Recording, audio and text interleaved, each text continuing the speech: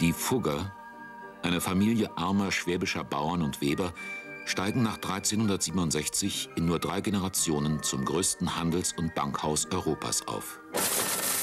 Geldgeschäfte und Bergbau vor allem machen die Familie unermesslich reich.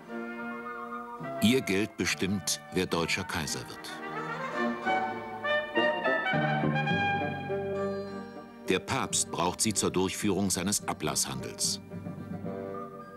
Das Netz der Firma umspannt die ganze damals bekannte Welt.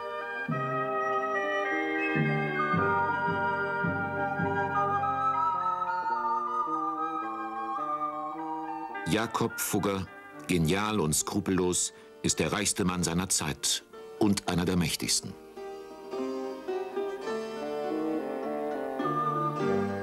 Aber hinter der Fassade der Macht verbirgt sich viel Menschliches, allzu Menschliches.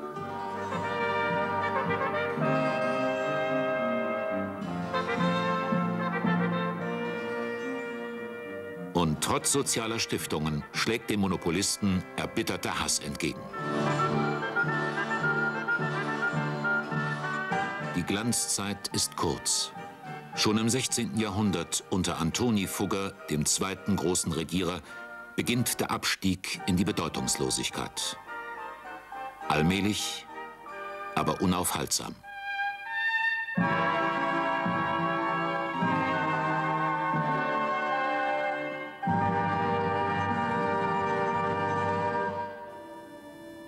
Beinahe mittellos war Hans Fugger nach Augsburg gekommen. Und schon in der nächsten Generation zählten seine Söhne Andreas und Jakob unter die 25 reichsten Familien der Stadt.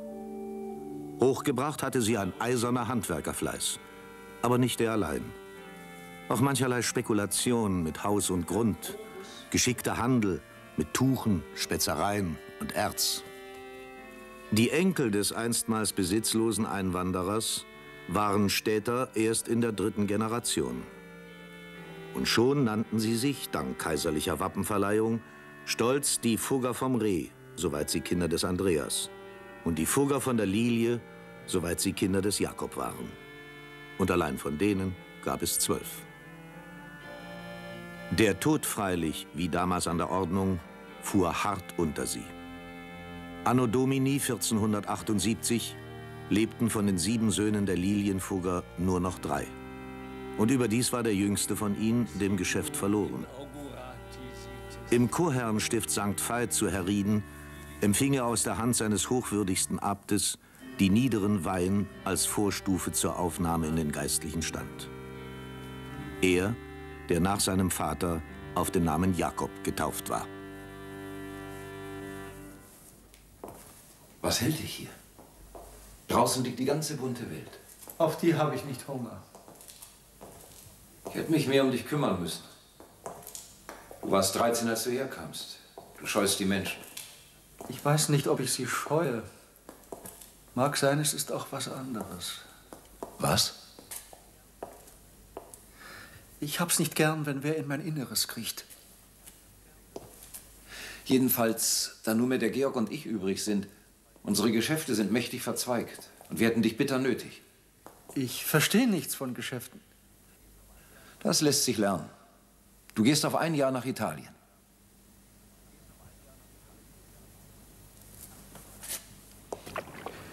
Ach, ihr Deutschen mit euren umständlichen römischen Ziffern. Da rechnet es sich mit unseren arabischen schon hurtiger. Ich habe Sie schon in Augsburg gekannt. Oh, Verzeihung, Signore Fugger. Ich wollte nicht taktlos sein. Ihr schreibt jede Ziffer zweimal in eure Buchführung. Warum? Wir nennen das doppelte Buchführung. Warum doppelt? Auf dieser Seite vermerken wir das Soll. Die Schuldigkeit, alles das, was man zahlen muss. Während auf der da steht unser Haben, das, was hereinkommen muss, versteht ihr? Mhm. Jedes Geschäft führt zu einer gleich großen Veränderung auf diesen beiden Seiten hier. Denn wenn das Soll größer wird, wird das Haben kleiner und umgekehrt. Das führt dazu, man hat immer eine Kontrolle über den Gewinn. Kontrolle über den Gewinn? Und zwar auf einen Blick. Die Venezianer führen ein doppeltes Buch, während mein Vorschlag geht auf vier Bücher. Vier Bücher? Wo hast du das her? Ich habe es nur weitergedacht. Ich spalte hier das Schuldenbuch auf in zwei Bücher. In dem hier werden die äh, Konten der Kunden geführt, der Einleger und Lieferanten. Die Personenkonten also. Während in dem da wird die Materie nach Sachen und Waren gegliedert. Barchen, Seide, Pfeffer, Metall. Und das da? Das äh, ist das Unkostbüchlein, damit man all das vor Augen hat, was für eine Kalkulation wichtig ist. Vier Bücher. Wer kennt sich denn da Wie noch ein aus? Gewebe. Ich kenne mich aus. Du nicht? Ein Netz von Zahlen über die ganze Firma geworfen. Ein Jammer wäre es gewesen, wenn er im Kloster versauert wäre. Begabt fürs Geschäft, wie er ist. Geschäft war ihnen alles, sogar das Geistliche. Auch das, was vielen für das Allerpersönlichste gilt, das Heiraten. Für sie war auch das ein Geschäft. Ein Handel, klug zu bedenken und mit aller gebotenen Umsicht zu besorgen. Und in dieser Hinsicht stand der Familie ein glanzvoller Tag ins Haus. Komm, gib her. Nehmt etwas mehr Silberborte. Noch mehr? Ja, von der weißen. Es wird ein Tag, wie ihn die Stadt nicht gleich wieder haben wird. Es galt, eine Doppelhochzeit auszurichten. Dies war nun schon wirklich etwas Rares. Darin hatte die alte Fuggerin recht. Barbara Fugger sollte ihr Ja-Wort dem Konrad Meiting geben. Der immerhin gehörte einer herausragenden Familie von Kaufleuten an. Die Erwählte ihres Bruders Ulrich, Veronika Lauginger, brachte sogar einen der besten Namen Augsburgs ins Haus. Seit Menschengedenken zugehörig dem vornehmsten Patriziat der Stadt. Auch die vom Reh wünschen Glück und erlauben sich ein kleines Angebinde zu regalieren. Für den Herrn Meiting und seiner frisch gebackenen Meitingerin je einen Schimmel aus bewährter ungarischer Zucht. Dem Herrn Vetter Ulrich mit Frau diese Sänfte. Auf dass das Paar allzeit über alle Unebenheiten des Lebensweges hinweggehoben sein möge.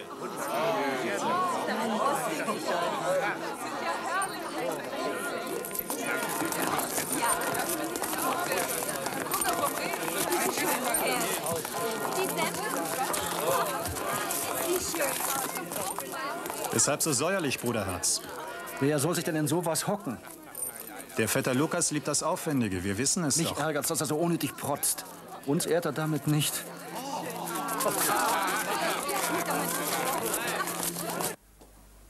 Hier ist das Gewerkbuch, Herr Fugger. Die Herren Brüder kommen eben runter.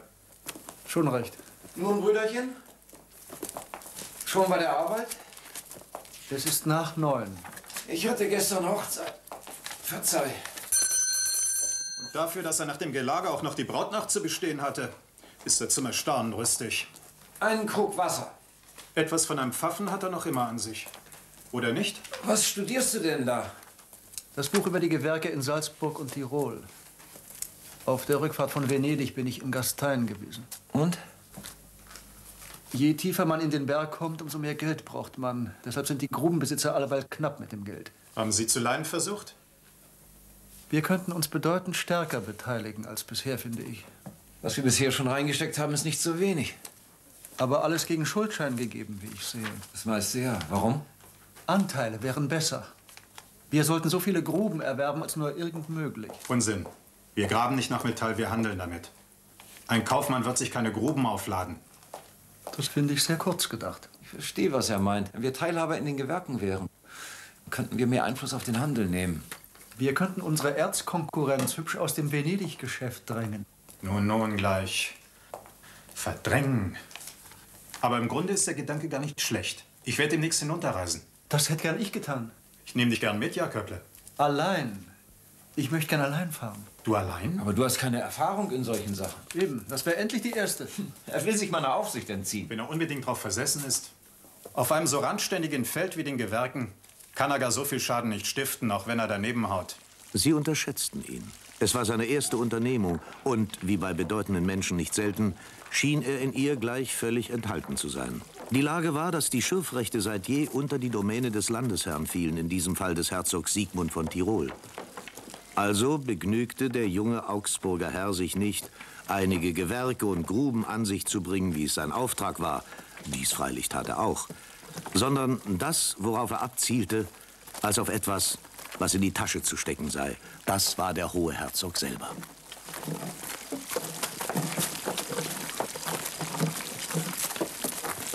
Sich in diesen Herrn einzuschleichen, gewissermaßen ihn auszuhöhlen von innen heraus, dafür sah Jakob sofort einen Weg. Er brauchte nur des Herzogs gierigen Hunger nach Geld zu stillen, aber nicht offen und geradezu, sondern durch vorgeschobene Mittelsmänner, damit der Herzog seine Abhängigkeit nicht zu früh merkte. Das war neben harter bergmännisch-technischer Arbeit der Zweck, den Jakob in jenen Tagen eifrig verfolgte. Herr Fugger, das Gestein wird härter. Wir können es bald mit Ritzeisen und Fäusteln allein nicht weiterbrechen. Sprengt es. Hm, gut. Ich dachte gleich, euch hier zu finden. Es geht euch der Ruf eines unermüdlichen Arbeiters nach. Herr Zink, entschuldigt, ich habe euch zu mir bestellt, aber... Ihr hattet nicht Zeit, auf mich zu warten. Niemand versteht's besser als ich. Es ist mir lieb, euch hier draußen zu treffen. Im Kontor gibt's immer irgendwo lange Ohren. Habt ihr also vor, endlich das Visier zu heben? Erwartet ihr das? Ich kann nicht ewig euer Strohmann sein, auch wenn es noch so einträglich ist. Ihr habt dem Herzog Sigmund jetzt, ich trage die Unterlagen nicht bei mir, aber es werden bereits mehr als 10.000 Gulden sein, die ich ihm auf eure Rechnung geliehen habe. 11.639 Gulden und 48 Heller. Er ging mich um weitere 5.000 an. Ich habe gesagt, er sei zweifelhaft, ob ich sie auftreiben kann. Ihr könnt, Herr Zink. Nun, es ist euer Geld. Holt es euch heute oder morgen. Der Herzog wird das Geld vertun. Schneller als sonst diesmal und auch dümmer. Offen gestanden, ich fürchte, er wird es in ein venezianisches Abenteuer stecken. Meint ihr, dass er tatsächlich dazu neigt? Er bildet sich ein, es wäre ein Streich, der ihm was bringt. Aber um den Venezianern gewachsen zu sein, bedarf es anderer Mittel und vor allem eines anderen Mannes. Könnt ihr ihn trotzdem darin bestärken, dass er es versucht? Ich kann jede Meinung vertreten. Ich bin Jurist. Ihr wollt auf seinen Untergang setzen, aber ob, wer ihm nachfolgt, besser für uns wäre? Man deckt seine Karten erst auf, wenn man sticht, Herr Zink. Verzeiht, ich wollte nicht neugierig sein. Nach Venedig? Ja, zur Kanzlei des Duschen. Und? Nichts Schriftliches? Nein. Wenn man dich abfängt, du gibst deinen Auftrag nicht preis. Auf keinen Fall. Ihr könnt euch auf meine Treue verlassen, Herr. Treue ist gut. Interesse ist besser. Wenn du getan hast, was du sollst, zahle ich dir 50 Dukaten extra. Es geht um Herzog Sigmund? Ein gewisser Zink. Merk dir den Namen. Zink. Gab ihm 5000 Gulden, mit denen der Herzog gegen den Markt zu Bozen ziehen und kriegerisch Hand an die Waren der Venezianer legen will. Sag den Venezianern, der Jakob Fugger warnt sie und hetzt sein Pferd. Es hat wenig Zeit. Nun, untergehen würde er nicht, der tirolische Herzog. Aber in Schwierigkeiten geraten. Das allerdings. In Schwierigkeiten und noch größere Abhängigkeit vom Fuggerschen Geld. Und dies umso gewisser, wenn es die Venezianer nicht unvorbereitet traf. Ein unfrommes Spiel, das er sich da zusammenmischte, der einstmals mit den niederen Weihen gesalbte. Und er spielte es so gelassen, als hätte er sein Leben lang nichts anderes getan. Der weindunstige Herzog Siegmund mochte über dieses Spinngeweb stolpern und sich dran erhängen. Er wusste selber nicht wie. Wir sind verloren. Nun, nun, herzogliche Gnaden, verloren nicht. Verloren? Sag's ihnen, Ross. Die Republik Venedig hat Truppen gegen uns in Marsch gesetzt. Ich hätt's nicht gedacht, dass sie das täten. Ich hätt's einfach nicht gedacht. Wie haben aber auch herzogliche Gnaden sich auf sowas einlassen können gegen die mächtige Republik? Hat man Sühneforderung gestellt? Ein Reuebekenntnis und 100.000 Gulden Schadenersatz. Mein Hunderttausend. Aber wie konnte ich Ich weiß nur- es ja selbst. Ich habe die Zusammenhänge verkannt, ohne Zweifel. Aber zum Klagen ist es jetzt zu spät. Baumgartner. Wie viel ist verfügbar? Nicht mehr als 52.000. Das heißt, wenn man das letzte zusammenkratzt. Dann fehlt fast genau die Hälfte. Das geht über meine Kraft, herzogliche Gnaden. Bestenfalls kann ich 4000 geben, aber nicht mehr. Ich kann auch nicht mehr. Zink. Ich bin ein kleiner Geschäftsmann, euer Gnaden, ziemlich am Ende. Zu meinem Bedauern. Nichts. Dann sind wir verloren. Das denke ich nicht.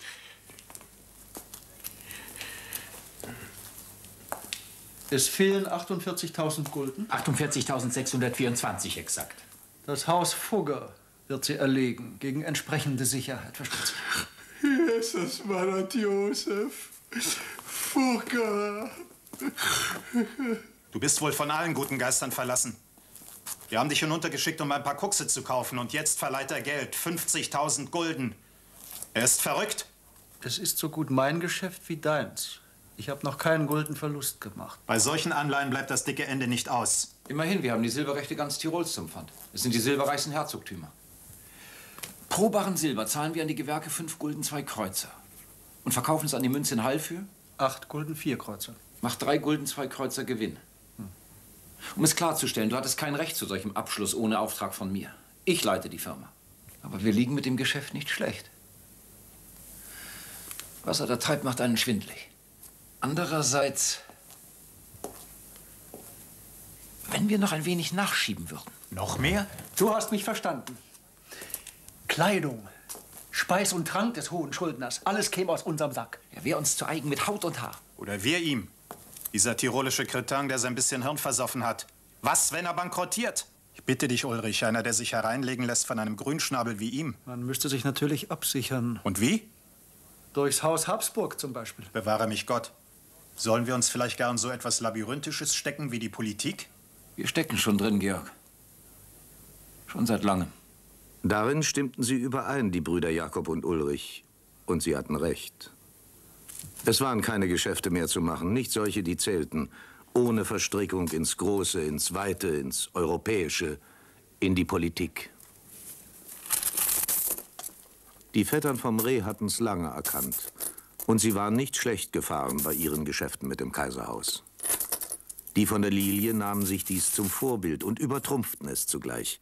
Sie warfen sich auf den Innsbrucker Hof, und zwar so heftig und gründlich, dass bald überhaupt nichts mehr ging, ohne Fuggersches Geld. In ganz Tirol nicht. 723 Gulden und 16 Heller für die Gehälter der Hofbeamten. Wenn ihr quittieren wollt, Herr vom Rost. Schon der dritte Monat, dass das Salär pünktlich ausgezahlt wird. Eine veritable Novität in Tirol. Der Herr Suiter hebt für die Landstände ein. Nehmt auf. Für zwei Monate, Herr Zink. April und Mai, ich weiß, macht 329 Gulden, 18 Heller und 6 Kreuzer. Zähl es aus.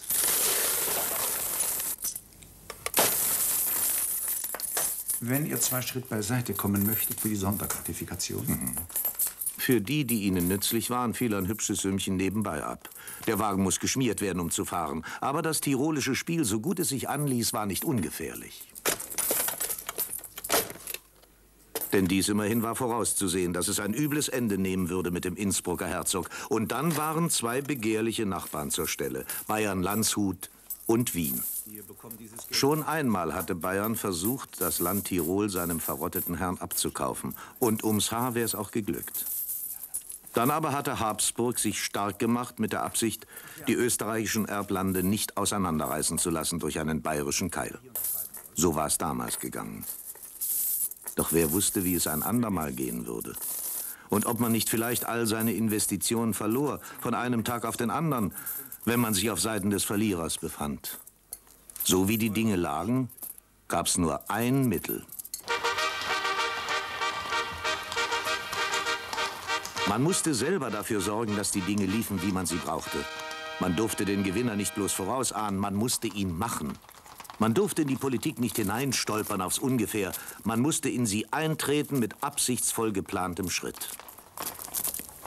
Beim Frankfurter Reichstag im Jahr 1490 hob das geheime Paktieren mit dem Hause Österreich an. Ihr seid der Fugger.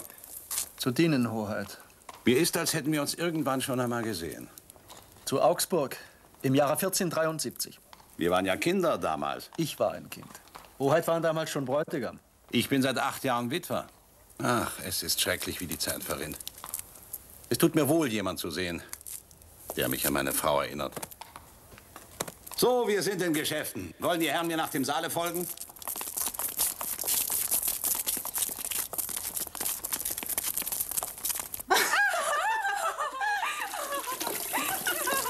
Wo bleibt der andere Gang?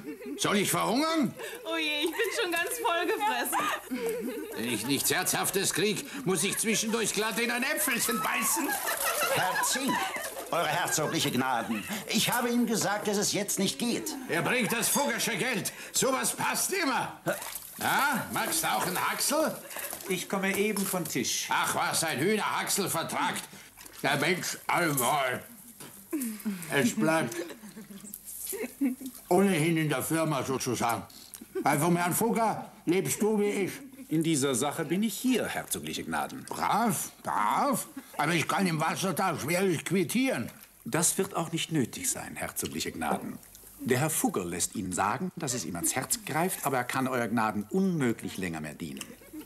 Er kann. Was heißt das? Bist närrisch, Zink? Ohne den Fugger sein Geld kommt alles in Stocken. Mein Herr weiß das sehr wohl. Allein es geht nicht um das, was er will, sondern um das, was er kann. Na, will die Rendite in die Höhe treiben. Ich soll ihm noch mehr Rechte übertragen. Habe ich recht? Wir sind nicht flüssig derzeit und keine Rechte der Welt. Herzogliche Gnaden müssen nach anderen Quellen suchen. Ja, da könnt ihr Gift draufnehmen, dass ich das tue. Ich berufe meine Landstände ein. Die werden mir dann schon helfen. Aber dann soll er sich vorsehen, dein Fugger. Man sieht wir geschiedene Leute. Reuen wird's ihn noch zinken. Reuen! Ein warmes Tuch.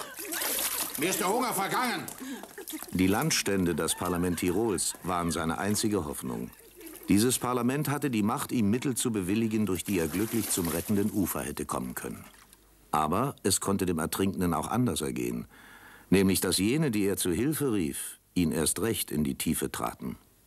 Und, was er nicht wusste, eben daraufhin waren die Karten seit Frankfurt gemischt, verstohlen und unter dem Tisch.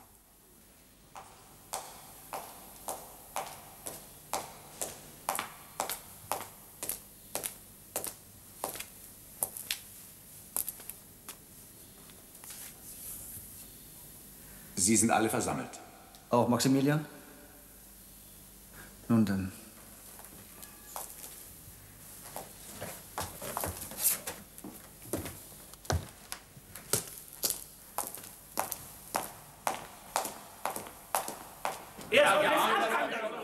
Es geht runter und drüber. Man hört's. Und alle sind gegen ihn? Sie fallen alle über ihn her, schreien Misswirtschaft. Und das hat Tirol ruiniert. Und der Erzherzog Max? Sitzt da mit argloser Miene, als ging's ihn nichts an. Und alle schreien, wir wollen ihn zum neuen Herrn. Sie wollen, Sie wollen, dass ich abdanken soll? Aber ich bitte euch, herzogliche Gnaden, seid ein Mann. Ihr müsst euch entscheiden, Ich Vetter. flehe euch an. Lasst mir Zeit. Nicht ich bin's, der euch drängt. Eure eigenen Landstände sind's. Ihr sollt mir Zeit lassen, sag ich. Ich wollte, er machte dem Jammer ein Ende. Geht ihr hinan. Mhm. Ihr hättet ihn retten können, Fugger. Meine Dankbarkeit wird nicht fehlen. Es dürfte genügen, Hoheit, wenn ihr unsere Absprachen so redlich einhaltet, wie wir das tun. Ich übernehme sämtliche Schulden, die er gegen euch hat. Auf Heller und Pfennig. Ein ritterliches Ehrenwort. Ihr hättet mir helfen können. Ihr hättet mir helfen können, Fugger. Ihr seid reich. Euer Gnaden waren selber oftmals reich. Euer Gnaden wissen, wie es damit geht. Ich bitte euch, Vetter, nehmt doch Vernunft an. Euch meinen Stuhl abtreten? Meint ihr, es fällt leicht? Ihr habt keine Wahl. Aber nur gegen eine Rente. Tausend Gulden im Monat. Ich hab's euch zugesagt. Ich danke ab, weil ich selber will. Weil ich der Plagen und Mühen über bin. All die ewigen Sorgen, Entscheidungen. Weil ich alt geworden bin. Anderthalbtausend Vetter. So viel hattet ihr als Regierender nicht. Sie lassen sich nicht länger hinhalten, euer Liebten. Es gibt ein Unglück, wenn ihr noch länger zaudert. Ich schwör's. Nun gut. Meine Tränen über euer Haupt.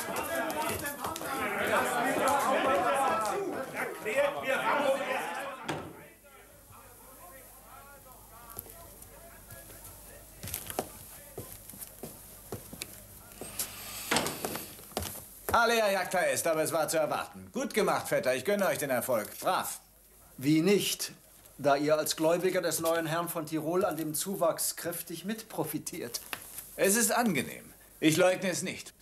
Obgleich wir vom Reh über ein Ländchen wie Tirol lang hinaus sind. Eure Silbergeschäfte in Ehren, Vetter. Aber wir handeln überall in der Welt. Ich bin der Eigner von Löwen. Der Stadt im Brabant? Der Erzherzog Max hat sie mir übereignet. Zum Pfand seiner Schuld. Da wünsche ich Glück, Vetter. Gott befohlen. Viva unser Herzog Max! Es lebe unser Herzog Max. Und wenn er lebte, so ein wenig von der Fugger Gnaden und Diensten jetzt. Mithin würden auch sie leben. Von den Gnaden und Diensten des habsburgischen Maximilian. Und nicht schlecht stand zu hoffen. War er doch nicht bloß neuer tirolischer Herzog wie der vorige, sondern auch Erbe des stolzen Reiches Burgund. Dank ehelicher Hinterlassenschaft seiner früh verstorbenen Frau. Nicht unangefochten zwar, aber eben doch Anwärter darauf. Zudem Sohn des römischen Kaisers, eines Tages wohl selber Kaiser. Und vielleicht bald. Denn Friedrich III. wuchs schon dem Erdboden entgegen, alt wie er war. Ein glückloser Dulder seiner Lebtage lang und nun auch noch krank. Das sieht aber übel aus, Majestät. Er ist brandig. Wie? Noch nicht, doch er kann's werden. Höllischer wehtun als jetzt kann er mir auch nachher nicht. Wenn's so weit käme, was Gott verhüten möge, müssten wir ihn amputieren. Abschneiden? Mein Fuß? Es wäre die einzige Möglichkeit, das Leben der Majestät zu retten. Ich habe mein Lebtag lang Unglück gehabt. Vielleicht habe ich dies eine Mal Glück. Was gibt's? Die Audienz sollte schon vor einer Stunde begonnen haben, Majestät. Soll ich die Leute lieber heimschicken? Schon wieder? Ich habe dreimal abgesagt. Wie viele sind's? Sechs Personen, Majestät. Sie sollen es kurz machen. In Gottes Namen sag's ihnen. Ich habe wenig Kraft. Nehmt die gegen die Schmerzen, Majestät. Und für einen guten Schlaf.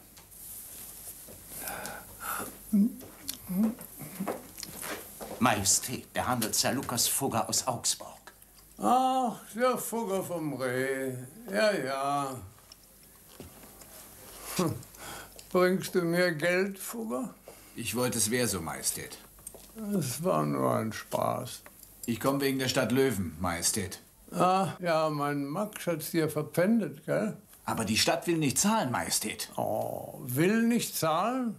Der Rat hat mir geschrieben, die Schulden Habsburgs gingen sie nichts an. Ah, das ist impertinent. Es ist unerhört, Majestät. Ja, ja, ja, ja, ja. Ich bin's gewohnt, Fugger. Kann nichts machen. Ihr müsst einen Prozess anstrengen gegen die Löwener. Das hab ich, Majestät, und zwei Urteile erwirkt. Jedes um teures Geld. Der Rat hat die eingegangenen Zahlungsbefehle ordnungsgemäß ausgehängt und nichts bezahlt. Ich weiß mir allmählich keinen Rat mehr, Majestät. Ah, schnöde Welt. Aber nix für ungut, Fugger. Ich hab so unerträgliche Schmerzen in meinem Fuß. Und draußen warten noch fünf andere. Darf ich wenigstens hoffen, dass Majestät die Reichsacht über die unbotmäßige Stadt verhängen werden? Die jedenfalls, Fugger. Die Reichsacht jedenfalls. Das verspreche ich.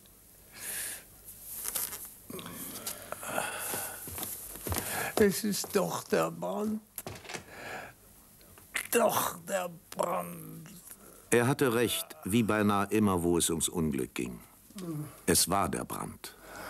Pater noster, qui es in celis, sanctificetur nomen tuum, adveniat regnum tuum, fiat voluntas tua, sicut in cielo, et in terra panem nostrum quotidianum nobis hodie, et Nochmal dasselbe. Das war schon der dritte. Ich vertrag doch den Wein so schlecht. Heute müssen Majestät aber trinken. Es lindert ein wenig den Schmerz. Wir haben etliche Schlafwurz hineingekocht. Schlafen. Ich werde doch wohl nicht schlafen, wenn Sie mir meinen Fuß abschneiden. nunc et in mortis nostrae. Mein armer Fuß, mein lieber armer Fuß. Bitte trinkt. tuum oh. fiat oh. voluntas tua, sicur in cielo, et in terra panem nostrum quotidianum da nobis hodie, et dimitte nobis debita nostra, sicur et nos dimittimus debitoribus nostrum, et ne nos inducas in tentationem, sed libera nos Amen. Ave Maria, gratia plena Dominus tecum benedicta, tu mulieribus,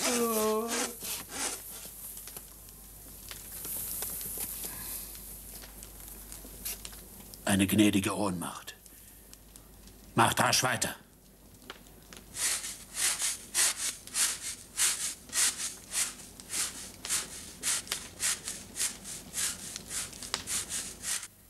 Schön, ne?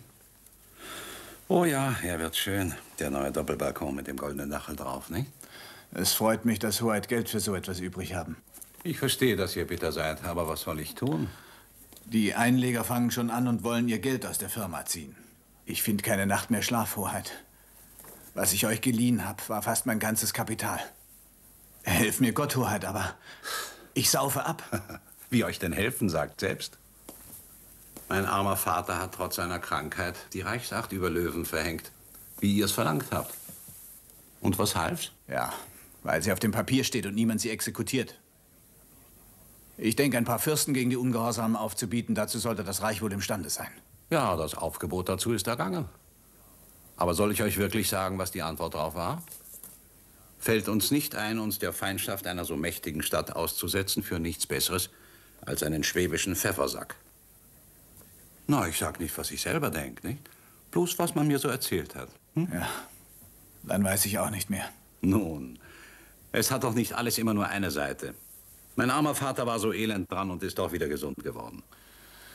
Ich gebe gern ein Körperglied her, wenn es mir heraushelfen möchte.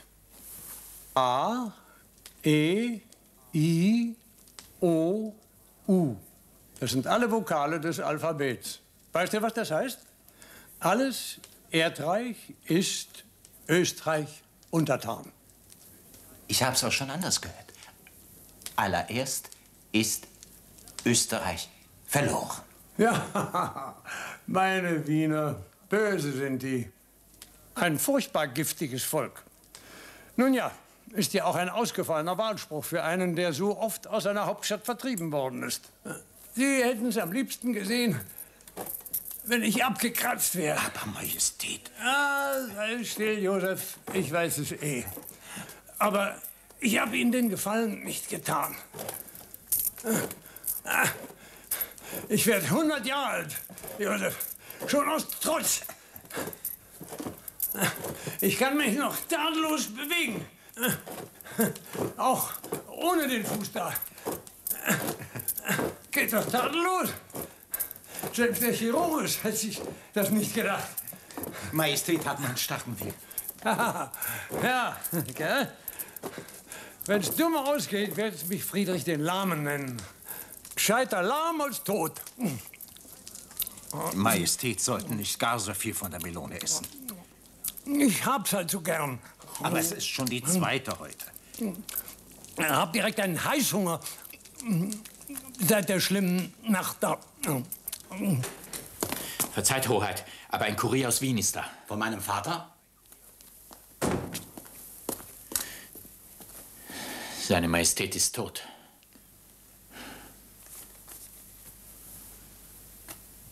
Aber das kann doch nicht möglich sein.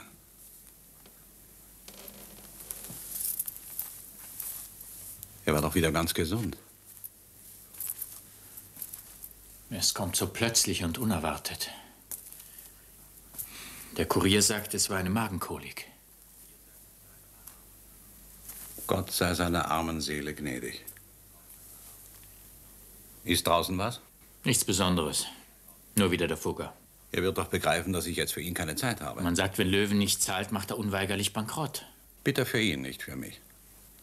Wenn er bankrott geht, verfallen die Schulden, die ich gegen ihn habe. Ich kann mir ein ärgeres Unglück denken. Mein Gott, der arme Vater. Jetzt heißt's zusehen, dass ich Kaiser werde. Alles zur Abreise richten wir, fahren Stantepede nach Wien. Kaltschnäuzig war man. Was Wunder in so hochpolitischem Augenblick. Wer sollte da Muße haben fürs Wohl und Wehe eines Handelsherrn? Tut mir leid. Unentwegt war es aufwärts gegangen. Sollte es denn wirklich mit einem Mal abwärts gehen? So geht's nicht mehr weiter. Es muss endlich ein Ende Lasst mich hinein, weg da! Lasst mich durch! Ich kann euch euer Geld nicht geben! Lasst mich in Ruhe! Er muss doch helfen! Geht es doch noch weiter! Was soll das? Mein Gott, wozu sich was vormachen? Es ist halt, wie es ist. Die reißen einem ja da draußen die Kleider vom Leib. Wenn ich nicht bloß die Fremden auszahlen muss, sondern auch euch. Die Familie selber, dann ist es vorbei. Ich verlange nichts, außer was mir zusteht. 40 Jahre lang habe ich die Firma geleitet. Und gut. Euch alle habe ich mit Trüffeln gefüttert. Und jetzt stehen wir vor dem Bankrott. Aber nicht, wenn wir zusammenhalten. Und wenn dir das nun misslingt, dann haben die Gläubiger, die da draußen schreien, ihr Geld Und wir gehen dabei leer aus, jawohl. Der Anna ihre Mitgift habe ich stehen lassen im Geschäft, aber geschenkt habe ich sie euch nicht. Du hast seinerzeit 1000 Gulden bekommen. In Und Bar. 3000 stehen im Ehevertrag. Moment mal, da gehen aber meine Ansprüche immer noch vor. Macht, was ihr wollt, aber das Erbteil meiner Mutter selig geht alleweil vor. Ob's dir nun passt oder nicht, wir aus der ersten Ehe haben auch unser Recht. Wenn man dir's in die Hand gegeben hätte, dann wär's längst versoffen. Muss ich mir sowas anhören, Vater, in deinem Haus? Warum nicht? Schließlich ist's doch wahr. Mein Ehevertrag gehört eindeutig zur Jurisdictio Contentiosa. Was so was geht Der Keife führt doch zu nichts. Du kreist ja doch selber. Du musst verkaufen, was immer du hast. Das Haus, alles, solange es noch geht. Und den Erlös dir in den Rachen schmeißen. Was ich an Heiratsgut mitgebracht habe, das rette ich ja wohl. Mein Gott, wie würdelos das ist. Du musst gerade von Würde reden. Ich bin dein Vater, Lukas. Meinst du, ich bin stolz drauf, dass du uns alle in den Dreck kutschiert hast? Hättest du ordentlicher gearbeitet, wir wären nicht da, wo wir sind. Da schau her, so als... War das etwa meine Schuld? War ich dabei, als du verhandelt hast beim Reichsgericht. Ganz umsonst. Also, das ist der Dank. Dank. Dank. Hab ich vielleicht Dank von euch? Wofür denn? Fürs Bankrottieren vielleicht? Hundsfott. Du kannst mich nicht beleidigen. Einer wie du hat für mich seine Ehre verspielt. Du wagst es. So weit hat es kommen müssen mit uns. Hättest dich früher drauf besinnen sollen.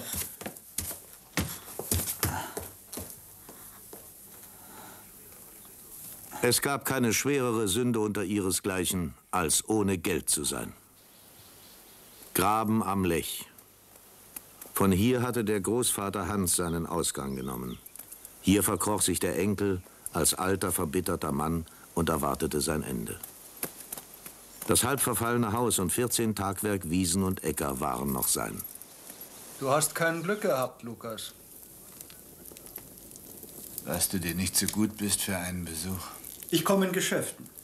Mhm. Das dachte ich fast. Aber ich habe mein Haus am Weinmarkt verkauft und meine Schulden bezahlt, so gut es ging. Bei weitem nicht alles.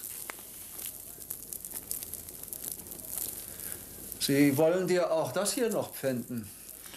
Steckst du mit ihnen zusammen, dass du das weißt? Ich habe keine Verwendung für eine Bauernkarte. Wenn ich sie dir abkaufe, dann aus Mitgefühl. Das klingt nicht nach einem hohen Preis. 200 Gulden. Sie ist leicht das Doppelte wert. Wenn sie gepfändet wird, bekommst du gar nichts. Wenn ich das bisschen Haus und Land noch verliere, weißt du, was ich dann noch hab?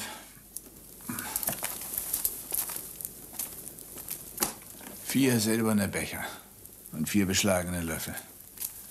Das ist meine ganze Rente für die Jahre, die ich noch lebe. Du kannst hier wohnen bleiben.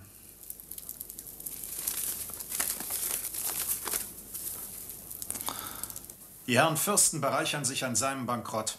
Es hat ihm geschmeichelt, eine ganze Stadt zum Pfand zu haben. Löwen ist reich, es konnte zahlen. Und dass es nicht zahlen wollte, war vorauszusehen.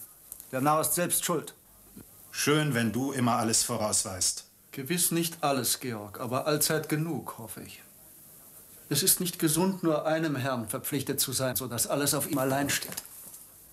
Wir stehen auf dem neuen Kaiser Maximilian und sonst auf keinem, genau wie der Lukas. Das muss man ändern, er hat recht. Ich denke, wir sollten neben dem Silber aufs Kupfer gehen. Es ist wegen der neuen Kanonen sehr begehrt. Was hast du da? Eine Beschreibung der Fördertechnik.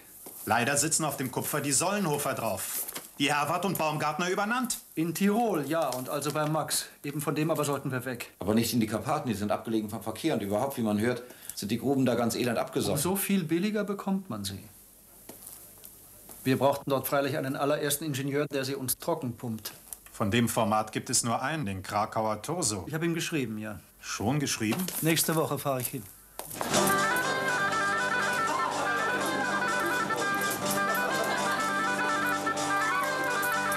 Besagter Johann der ältere Turso, geboren in Leutschau in der Zips, galt als der bedeutendste Montaningenieur der Zeit.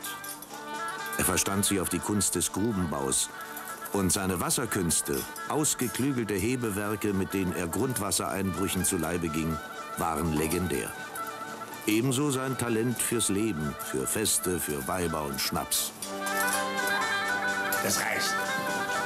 Krakau, Panfugger, ist eine wundervolle Stadt. Ich bin überall in Europa gewesen. Aber alt werden und sterben möchte ich nur hier. Ihr gebt mir nicht Bescheid. Ich vertrage keinen Alkohol, Torso. Wein ist doch kein Alkohol. Was wir hier saufen, ist Wodka von 50 Prozent. Ich bin auch nicht nach Krakau gereist, um zu trinken.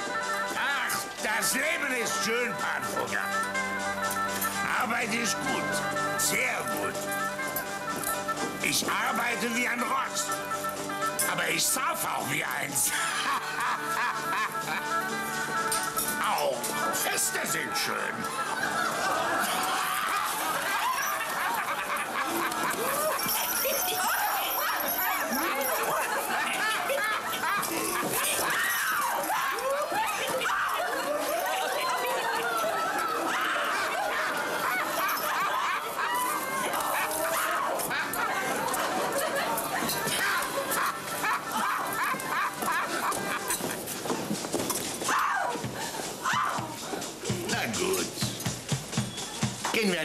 zur Seite. Für Geschäfte ist es hier etwas zu laut.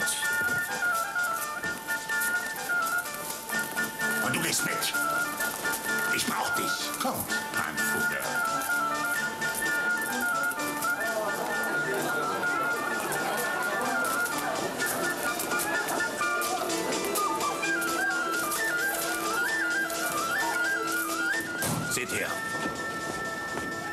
Und ihr seid sicher, dass ihr damit das Wasser vollkommen auspumpen könnt? Die ungarischen Karpatengruben sind heikel. Ihr werdet keinen zweiten finden, der das kann. Ja, ausgenommen mein Sohn Georg allenfalls. Demnächst. Er ist noch unerfahren, aber seine Begabung steht der meinen nicht nach. Ich bemühe mich zu lernen. Ich weiß, dass ihr die nötige Kenntnis habt. Vor allem habe ich die amtlichen Privilegien, die zur Erschließung des ungarischen Bergwesens nötig sind. Die königliche Vollmacht lautet auf mich. Ihr macht wenig Gebrauch davon. Kommt Zeit, kommt Rat. Woran es fehlt, ist nicht Rat, sondern Geld. Ihr wollt also euer Geld und meine Kunst für denselben Wagen spannen. Aber ein Wagen läuft nur gut, wenn die Pferde gleich stark sind. Ich mache mit Bahnfugger, aber nur, wenn ich gleichberechtigt bin. Das bedeutet exakt? Ihr gebt das Kapital, ich die Arbeit und bin beteiligt zur Hälfte der Ausbeute. Exakt die Hälfte, Pan. Das ist eine unerhörte Forderung. Ich bin ein unerhörter Mann. Gut. Ihr bekommt, was ihr wollt, aber es ist eine Bedingung dabei. Peinlichste Verschwiegenheit gegen jedermann. Tja, die dürfte allerdings ratsam sein. Die Ungarn mögen euch Deutsche nicht besonders. Dagegen ich. Ich bin bloß ein Polak. Das ist mein Interesse an der Diskretion. Das eure ist, dass nach Krakauer Gesetz Konsortien unserer Art unter Strafe stehen. Ihr seid wohl präpariert in der polnischen Justiz. Wann schließen wir ab? Wann immer ihr mögt. Dann Top-Pan Fugger. Und nun genug geredet. Wenn ich Musik höre wie diese, muss ich weinen oder tanzen. Und ich tanze lieber.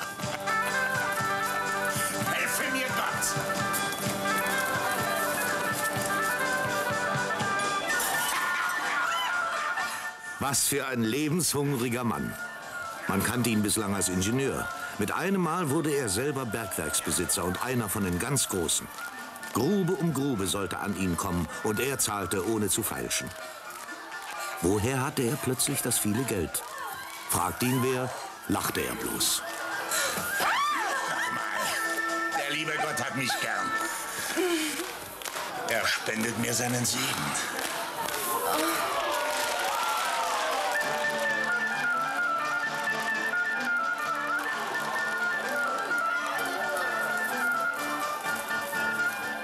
Der wahre Segenspender blieb im Verborgenen, diesmal wie immer. Jakob Fugger liebte das verdeckte Spiel, wozu schlafende Hunde wecken. Man hatte der Feinde auch ohne dies schon genug. Kaiserliche Majestät, nichts für ungut, aber auf gut Tirolerisch muss ich sagen, es ist eine Sauerei. Nun, nun, nun, nun. Ausgeplündert wie von diesen Fuggern wurde unser Tirol noch niemals. Das tirolische Silber fließt ins Ausland, Majestät, wodurch uns der Münzgewinn entgeht. Verpfändete Rechte sind verpfändete Rechte und sie waren verpfändet schon vor meiner Zeit. Als Ritter weiß ich so viel immerhin, dass man abzutragen hat, was man schuldet. Aber es ist zu viel, Majestät. Die Fugger haben nach unserer Rechnung fast eine Viertelmillion Silber aus dem Land gezogen, allein im vorigen Jahr. Und das zu einem kaiserlich gewährten Vorzugspreis. Währenddem unsere Münzmeister nicht mehr genug zum Prägen haben und deshalb vom Fugger zurückkaufen müssen. Zu einem Preis, der kein Vorzugspreis ist. Man klagt immer, dass viel Silber über die Grenzen geht, aber davon, dass die Gruben, seit sie in Fuggers Händen sind, dreimal so viel fördern wie früher, hört ja, man nichts. Weil man nichts davon merkt. Es bleibt weniger im Lande als früher. Und was hat man davon? Genug, ihr Herren. Ich bin Kaiser und Kriegsherr, kein Krämer. Unwürdig genug, dass ich mich mit so etwas Niedrigem abplagen muss wie mit dem Geld. Ich habe vor, auf Gemsen zu pirschen und muss morgen vor Sonnenaufgang in der Martinswand sein. Die Herren verzeihen.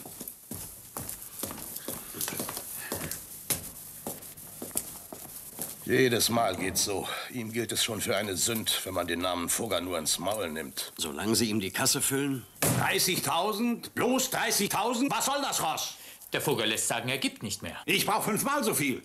Wo steckt er? Er ist abgereist. Ich hatte ihn doch zu mir befohlen. Er wollte sich Eurer Majestät Überredungskünsten entziehen. Und offen gesagt, 30.000 sind viel Geld. Aber nicht, wenn man in Italien den alten Einfluss des Reichs wieder aufrichten will. Darf so ein Pfeffersack einfach wegbleiben, wenn sein Kaiser ihn herbefiehlt? Dabei, er hat's doch. Bloß, dass er es für was anderes braucht. Ich weiß es, Ross. Ich habe mir es zusammenschreiben lassen von der Rechnungskammer, was er an Metall gekauft hat. Nicht bloß Silber, Kupfer. Immer mehr Kupfer. Er will hinter meinem Rücken ans Kupfer kommen, das ich für meine Kanonen brauche. Nun, glücklicherweise gehören die fettesten Gruben dem Sollenhofer, dem Herwart, dem Baumgartner und die sitzen alle fest drauf. Und Gott erhalte sie dort. Wir werden diesmal dem Fugger ein Notabene setzen, das er so schnell nicht vergessen soll. Den Sekretarius gleich. Er will das Monopol aufs Kupfer gewinnen. So viel sehe ich klar. Und er soll's kriegen. Doch, doch, doch, doch, doch. Aber nicht er allein, sondern alle vier zusammen. Alle vier großen Kupferkrämer zusammen. Der Sollenhofer? Und Konsorten, jawohl. So verfeindete Leute, die ziehen niemals am selben Strick. Alle vier nicht. Aber drei davon. Gegen den vierten. Wie zwischen Mühlsteine pressen werden sie ihn, den ungeliebten Genossen. Um Gnade wird er mich demnächst anwinseln. Pass auf. Er wird drauf nicht eingehen wollen. Er muss. Sein Geld macht ihn stärker in manchem. Jetzt endlich kommt des Kaisers Macht ins Spiel. Schreib an meinen viellieben Handelsherrn Jakobus Vogel zu Augsburg etc. pp. Ich hab's vorausgeahnt. Sie haben sich sicher mit dem Kaiser verfeindet. Ich hab's geahnt. Und die Sache hat keinen Pferdefuß? Welchen denn? Jetzt kommt es nur darauf an, dass wir drei zusammenhalten. Die Fugger sind Neulinge im Kupfergeschäft. Es müsste doch für uns möglich sein, sie abzuwürgen. Der Kaiser bestimmt, dass alle vier an den vereinbarten Verkaufspreis gebunden sind. Zusammenstehen müssen wir, ich sag es ja. Und Sie müssen den Preis akzeptieren, über den wir uns einig sind. Wir werden ihn sehr knapp halten. Und zwar so knapp, dass wir gerade noch auf unsere Kosten kommen, während Sie, die noch im Aufbau sind, Verluste machen. Und das so lang, bis Sie der Atem verlässt. Sie aus dem Kupfergeschäft heraus sind. Und es hat auch wirklich keinen Pferdefuß? Wenn wir drei zusammenhalten? Nein. Ich hätte es ihm nicht zugetraut, dem Maximilian, dass er auf so etwas kommt. 150.000. Das sind unsere letzten Reserven. Gib ihm das Geld und lass das Tiroler Kupfer sausen. Wir sind nicht darauf angewiesen. Wir haben das Ungarische, wovon er nichts weiß. So leicht lasse ich mich nicht aus Tirol verdrängen. Wir leben auch so, Jakob, und gut. Gut leben? Das hat mich noch nie gereizt. Er rechnet damit, dass wir uns verbeißen und uns ruinieren wie der Lukas. Klein will er mich sehen. Weißt du einen Ausweg? Mag sein. Vielleicht sogar mehr als das. Wer steht zwischen uns und dem Monopol? Sie. Diese drei Mühlsteine um unseren Hals. Aber vielleicht lässt sich's drehen, dass nicht wir es sind, die ersaufen, sondern Sie. Gerade weil er uns zusammen ins Wasser schmeißt. Aber was tun? Er hatte noch kaum den Zipfel eines Gedankens erfasst, daran auch schon das Ungefähre in seinem Kopf zusammen und nahm Gestalt an. Torso und das Karpatenkupfer.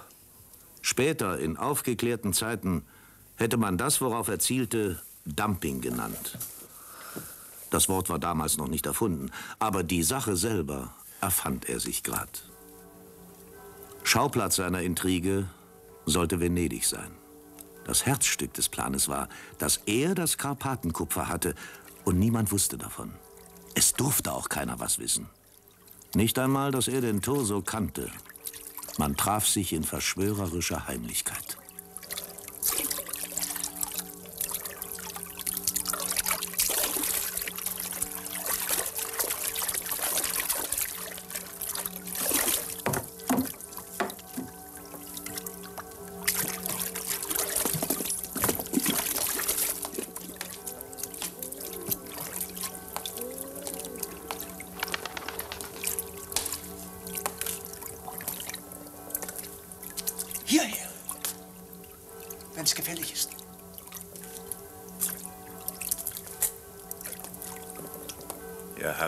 Anweisungen für mich? Lässt die ungarische Produktion sich in die Höhe treiben? Wenn man sich anstrengt. Gut, strengt euch an. Wir brauchen jetzt Kupfer, Kupfer und wieder Kupfer. Hier. Aber es ist so schon zu viel auf dem Markt. Von eurem tirolischen Konsortium. Und man handelt das beunruhigend billig für meinen Geschmack. Unterbietet es. Immer unterbieten, so tief der Preis auch fällt. Werft auf den Markt, was das Zeug hält und unterbietet es. Aber ich komme unter meine Gestehungskosten dabei. Kümmert euch nicht um die Verluste. Die holen wir herein danach. Und mehr als nur das. Hä? Da ich euch und das Karpatenkupfer im Rücken habe, Sie aber nichts, halte ich länger durch als die Herren Konsorten. Ihr wollt sie ruinieren. Ich Sie oder Sie mich? Wenn Sie am Ende sind, dann werde ich versuchen, Ihre Gruben zu kaufen. Und dann gehen wir mit dem Preis hinauf so hoch, als immer wir wollen. Dann sind wir ohne Konkurrenz. Ich hab schon verstanden. Offen gesagt, ich bin froh, bloß ein biederer Ingenieur zu sein. Handel ist ein übles Geschäft. Dann seid froh, dass ihr mich habt. Ihr verdient gut und dürft bieder bleiben.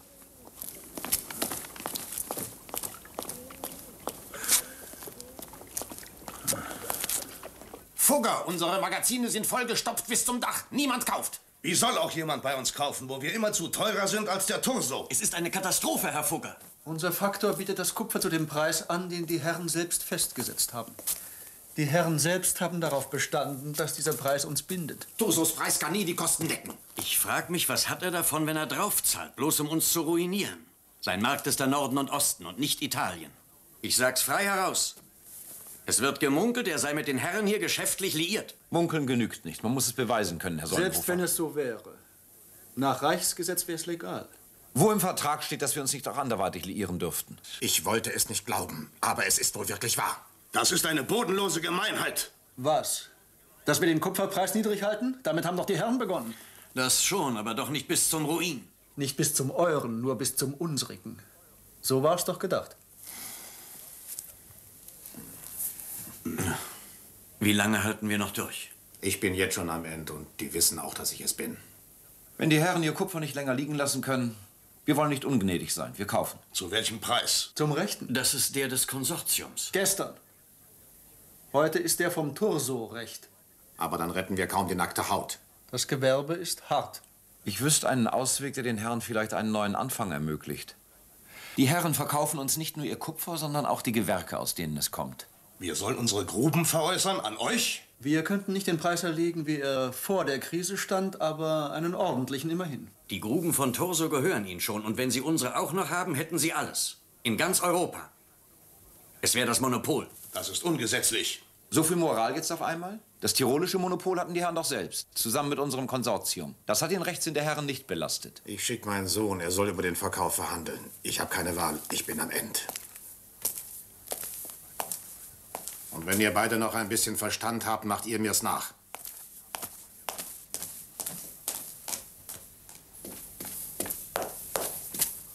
Nimm dich in Acht, der Kaiser kommt. Es ist mit ihm nicht gut Kirschen essen, glaube ich.